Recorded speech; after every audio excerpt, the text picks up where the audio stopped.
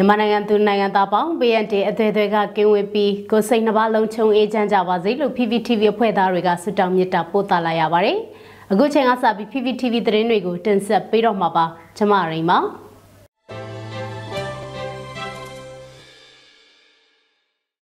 ဒီနေ့နိုဝင်ဘာ2ရက်ကြာသပတေးနေ့အတွက်တင်ဆက်ပေးမယ့်သတင်းကောင်းစင်တွေကတော့ အမေရိကန်ပြည်ထောင်စု UK နဲ့ကနေဒါနိုင်ငံတို့ရဲ့ပူးပေါင်းအရေးယူဒဏ်ခတ်ပိတ်ဆို့မှုတွေချမှတ်ခဲ့တဲ့အပေါ် CRPH ကြိုးဆိုထောက်ခံခဲ့တဲ့တဲ့ဂျာကလာတေသန္တရပြည်သူ့အုပ်ချုပ်ရေးဖော်ဆောင်မှုဗဟိုကော်မတီနဲ့မြို့နယ်ပြည်သူ့အုပ်ချုပ်ရေးအဖွဲ့များတွဲဆုံဆွေးနွေးတဲ့တဲ့အကြံဖက်စစ်ကောင်စီလက်အောက်ခံ MOGE ကိုအမေရိကန်ကဒဏ်ခတ်ပိတ်ဆို့အရေးယူမှုကို HRW ကြိုးဆိုခဲ့တဲ့တဲ့24ကြိမ်မြောက်အွန်လိုင်းလွှင့်ချီနှွေဦးထီမှာ CDM မှာ82ဦးကထီစု82စုကန်ထူခဲ့တဲ့တဲ့ ဂျမ်ဖတ်စစ်တပ်နဲ့ဘဝနီစစ်ကြောင်းတို့အကြားဖြစ်ပွားခဲ့တဲ့အော်တိုဘာလတိုက်ပွဲအတွင်းရန်သူတပ်စစ်ကြောင်းမှုအပါအဝင်80ကျော်သေဆုံးတယ်လို့စိတ်ယုံချုပ်ထုတ်ပြန်လိုက်တဲ့သတင်းနဲ့ဒီနေ့အတွက်မြန်မာနိုင်ငံတဝန်းကလူမျိုးပေါင်းစုံဘာသာပေါင်းစုံပါဝင်တဲ့ဆရာနာရှင်တော်လှန်ရေးဆန္ဒပြလူထုတပိတ်သတင်းတွေပဲဖြစ်ပါတယ်။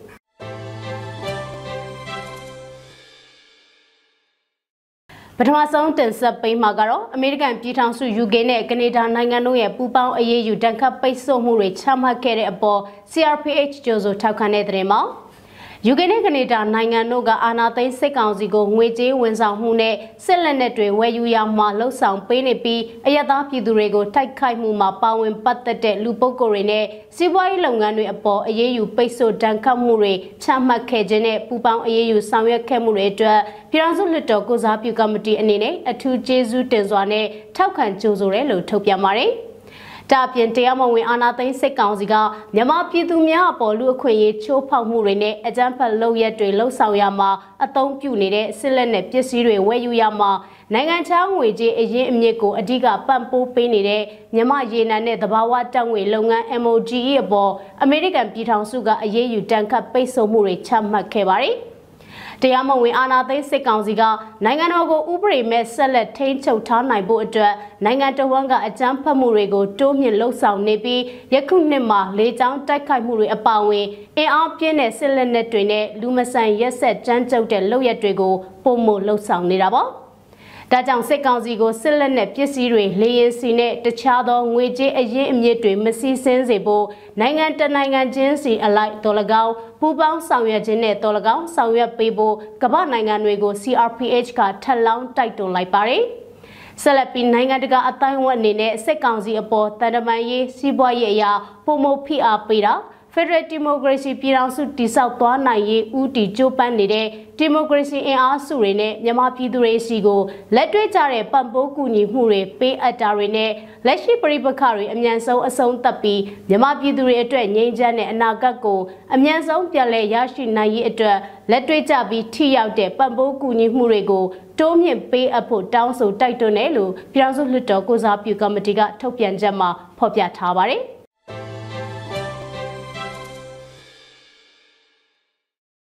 ထမန်တင်ဆက်ပေးခြင်းတဲ့တရင်ကတော့ကြာကလာတေသန္တရပြည်သူ့အုပ်ချုပ်ရေးဖော်ဆောင်မှုဗဟိုကော်မတီနဲ့မြို့နယ်ပြည်သူ့အုပ်ချုပ်ရေးအဖွဲ့များတွဲဆုံဆွေးနွေးတဲ့တရင်မှာ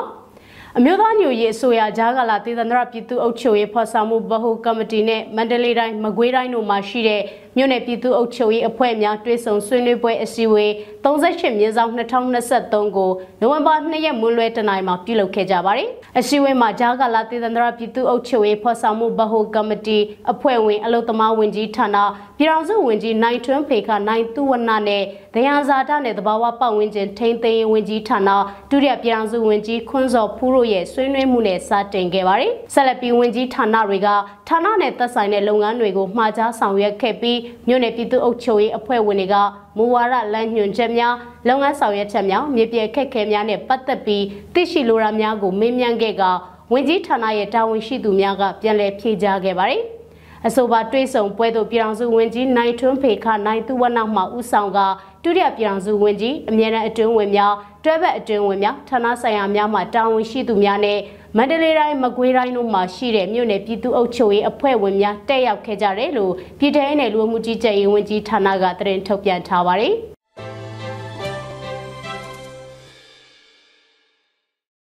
ဆလက်တန်ဆက်ပေးခြင်းတဲ့တရင်ကတော့အကြမ်းဖက်စစ်ကောင်စီလက်အောက်ခံ MOGE ကိုအမေရိကန်ကတန်ခတ်ပိတ်ဆို့အရေးယူမှုကို HRW ကြိုဆိုတဲ့တရင်မှာ အကြမ်းဖက်စစ်ကောင်စီလက်အောက်ခံမြန်မာရေနံနဲ့သဘာဝဓာတ်ငွေလုပ်ငန်း MOGE ကိုအမေရိကန်ကတန်ခတ်ပိတ်ဆို့အရေးယူလိုက်တာနဲ့ပတ်သက်ပြီးလူ့အခွင့်အရေးလေးလာစောင့်ကြည့်ရေးအဖွဲ့ HRW ကကြိုဆိုလိုက်ပါတယ်။မြန်မာရေနံနဲ့သဘာဝဓာတ်ငွေလုပ်ငန်း MOGE အပေါ်စီးပွားရေးအရာအမေရိကန်ပြည်ထောင်စုဗဏ္ဍာရေးဝန်ကြီးဌာနက အော်တိုဘာလ31ရက်နေ့မှာကန့်သက်အရေးယူမှုတွေပြုလုပ်ခဲ့တာပါ။ MOGE ကရတဲ့ဝင်ငွေတွေဟာမြန်မာနိုင်ငံအနှံ့မှာစိတ်ရာဇဝတ်မှုနဲ့လူသားမျိုးနွယ်အပေါ်ကျူးလွန်တဲ့ရာဇဝတ်မှုတွေကျူးလွန်နိုင်အောင်ကူညီနေခဲ့တာဖြစ်လို့အခုလိုတန်ခတ်ပိတ်ဆို့အရေးယူမှုပြုလုပ်တင်တာဟာကြာပြီလို့ HRW ကဆိုပါတယ်။အမေရိကန်ပြည်ထောင်စုကကန့်သက်အရေးယူမှုဟာလာမယ့်ဒီဇင်ဘာလ15ရက်နေ့မှာစတင်သွားမှာဖြစ်ပြီး MOGE နဲ့အမေရိကန်နိုင်ငံသားတွေငွေချေးတာ ဗန်စရင်ဖွင့်တာအာမခံပေးတာယင်းနှမြုပ်နှံတာနဲ့အခြားပဏာရေးဝန်ဆောင်မှုတွေလုံမပေးဖို့တားမြစ်ခဲ့တယ်လို့သိရပါတယ်။မြန်မာရေနံနဲ့သဘာဝတပ်ငွေလုပ်ငန်း MOGE ကိုအမေရိကန်၊တရုတ်နဲ့ထိုင်းနိုင်ငံများကိုရေနံနဲ့သဘာဝတပ်ငွေတွေရောင်းချလျက်ရှိပြီးနှစ်စဉ်အမေရိကန်ဒေါ်လာဘီလီယံနဲ့ချီဝင်ငွေရှာပေးနေတဲ့လုပ်ငန်းတစ်ခုဖြစ်ပါတယ်။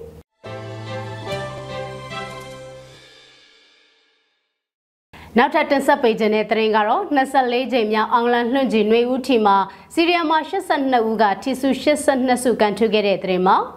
အောင်လန်လွှင့်ကြည်နှွေဦးထီအပတ်စဉ်24မှာဝင်ကြီးဌာနအသီးသီးကစီရီယာမှာ82ဦးကထီစု82စုကန်ထူခဲ့တယ်လို့သိရပါတယ်။24ကြိမ်မြောက်အောင်လန်လွှင့်ကြည်နှွေဦးထီကထွက်ပေါ်လာတဲ့ထိစု114စုအနက်ချက်သိန်း100စုတစုကိုပညာရေးဝန်ကြီးဌာနစီရီယမ်မှာတဦးကစုခူးရရှိခဲ့တယ်လို့ ကျမရေးဝန်ကြီးဌာနကစီရီယမ်မှာတယောက်ကကျပ်15သိန်းစုတစု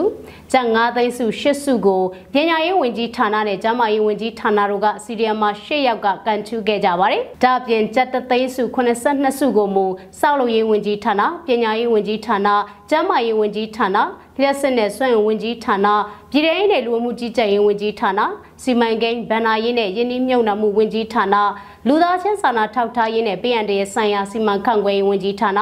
စိုက်ပျိုးရေးမွေးမြူရေးနဲ့ဆယ်မြောင်းဝန်ကြီးဌာနတို့က CDMR တွေအသီးသီးကန်ထူခဲ့ကြတယ်လို့သိရပါတယ်။အခုပေါ်ပြထားတဲ့ CDMR တွေကိုအတိုင်းအတာတစ်ခုအထိအထောက်ပံ့ဖြစ်စေခဲ့တဲ့ထီလက်မှတ်တွေက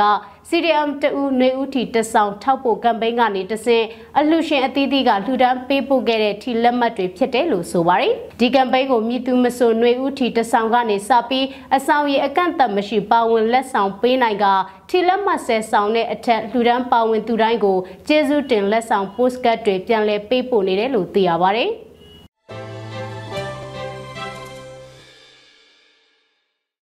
ဆက်လက်တင်ဆက်ပေးခြင်းတဲ့သတင်းကတော့အော်တိုဘာလအတွင်းအကြမ်းဖက်စစ်တပ်နဲ့ဘဝနီစစ်ကြောင်းပူးပေါင်းတပ်တိုက်ပွဲဖြစ်ပြီးရန်သူစစ်ကြောင်းမှုအပါအဝင်80ကျော်သေဆုံးခဲ့တယ်လို့စေယုံချုပ်ထုတ်ပြန်လိုက်တဲ့သတင်းမှာပဲခူးတိုင်းရှေ့ပိုင်းရေတာရှင်မြို့နယ်အတွင်းမှာ ပြည်သူ့ကာကွယ်ရေးတပ်မတော် PDF ဘဝနီစစ်ကြောင်းနဲ့ပူးပေါင်းတပ်ဖွဲ့တွေနဲ့အကြမ်းဖက်ရန်သူတပ်တွေအကြားအော်တိုဘာလတိုက်ပွဲအတွင်းရန်သူတပ်စစ်ကြောင်းမှုအပါအဝင်80ကျော်သေဆုံးခဲ့တယ်လို့အမျိုးသားညွရေးအစိုးရကာကွယ်ရေးဝန်ကြီးဌာနပြည်သူ့ကာကွယ်ရေးတပ်မတော် PDF စစ်ရုံးချုပ်ကမနေ့ကထုတ်ပြန်ပါတယ်။ရန်သူတပ်နဲ့ဘဝနီစစ်ကြောင်းပူးပေါင်းတပ်ဖွဲ့တွေအကြားအော်တိုဘာလအတွင်းတိုက်ပွဲ17ကြိမ်ဖြစ်ပွားခဲ့တာဖြစ်ပြီးရန်သူဘက်ကစစ်ကြောင်းမှု2ဦးအပါအဝင်80ဦးထက်မနည်းသေဆုံးခဲ့တယ်လို့34ဦးအထက်တန်ရာရရှိခဲ့တာဖြစ်တယ်လို့ဆိုပါတယ်။တိုက်ပွဲတွေအတွင်းရန်သူထံကနေ RPG နဲ့60မမပုံသီးတွေတင်စီရမိခဲ့တယ်ဆိုတာနဲ့ဘဝနေစစ်ကြောင်းနဲ့ပူပေါင်းတပ်ဖွဲ့တွေဘက်ကရဲဘော်2ဦးကြာဆုံးခဲ့ရက4ဦးတန်ရာရရှိခဲ့ပါတယ်။ အဆိုပါတိုက်ပွဲတွေအတွင်းကိုရန်သူတပ်ရဲ့လေရင်နဲ့လက်နက်ကြီးရန်တမ်းပစ်ခတ်မှုကြောင့်အပြစ်မဲ့ပြည်သူတအူးသေဆုံးခဲ့ရတယ်ဆိုတာနဲ့နေအိမ်နှလုံးပျက်စီးပြီးပြည်သူ950ကျော်စစ်ပေးရှောင်ခဲ့ရတယ်လို့ PDF စစ်ရုံးချုပ်ကအသိပေးဖော်ပြထားပါတယ်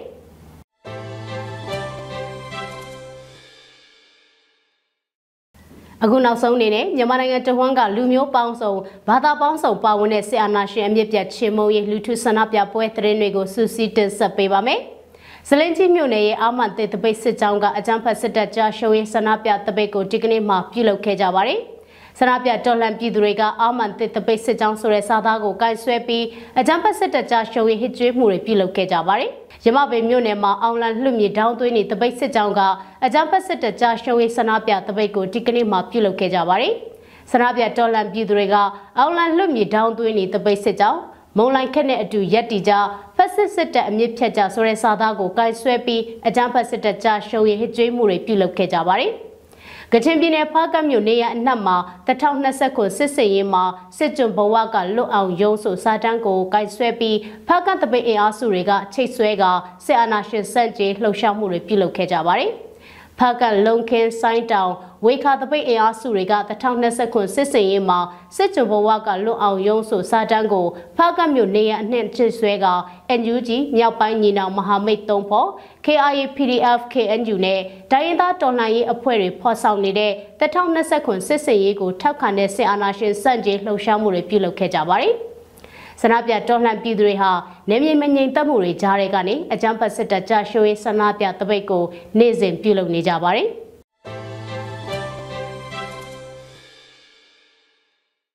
ဒါကတော့ဂျာတပရိနှစ်ရက်နေ့သတင်းတွေနဲ့လူထုဆန္ဒပြပွဲသတင်းတွေကိုစူးစီးတင်ဆက်ပေးခဲ့တာပဲဖြစ်ပါတယ်ကျေးဇူးတင်ပါတယ်ရှင်